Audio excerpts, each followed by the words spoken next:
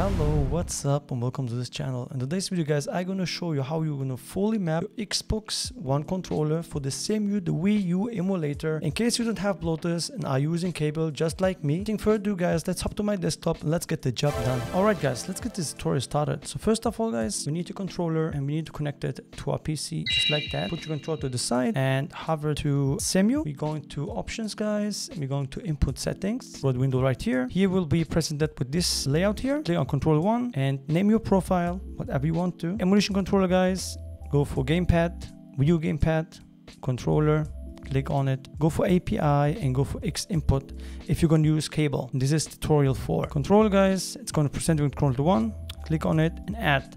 Now for some people it's going to directly pop up and you're good to go, but still what we're going to do here now for some people doesn't work so we clear in it. I press on A here. And so for A guys, you press on the Xbox One controller, the B button. And for the B button, you press on the Xbox controller, the A button. For the X, you're pressing the Y on the Xbox One controller. And for the Y guys, we press in X. Then for the L, we pressing the, the LB button on the Xbox One controller. On for the R, pressing the RB on the Xbox One controller. For the ZL, we're pressing the LT on the Xbox One controller. With the ZR, we're pressing the RT on the Xbox One controller. For the plus, go for the three lines of justice. And for the minus, we're going for the Windows on the Xbox One controller. Now left axis is this one here.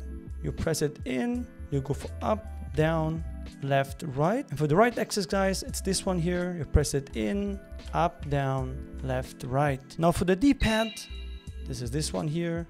Up down left right. And now if it goes for the blow mic some people experience uh, some problems here because it's my here if i press on my keyboard nothing happens.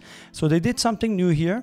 The Cemu team. You need to press plus here go for API and go for keyboard, click add, and then you go for the blow mic and you can actually map it, use the F. And for show screen, because you're using the Wii U gamepad, guys, I use whatever button you like to. I use the S and we're good to go. With this all said, guys, if you're done with all that, hit that save button and as well always the like button as well would much appreciate that and we're good to go with this all said guys we can close the window here and let's actually test out if the controller works all right there's the start screen here guys let's press start. Let's see if it's gonna work.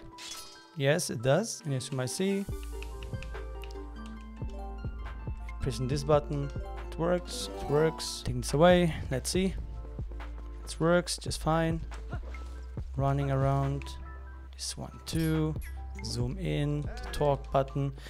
Yeah that's pretty much it guys. Um, and as always guys like it if you like it dislike it if you didn't share subscribe would much appreciate that guys. And if you like this kind of views guys there's another one here and there. And with this all said guys i'm gonna get the heck out of here. Have yourself a good day. But else keep it cool and stay awesome. My name is Emu from Emu Gaming. Hey and I'm freaking out of here.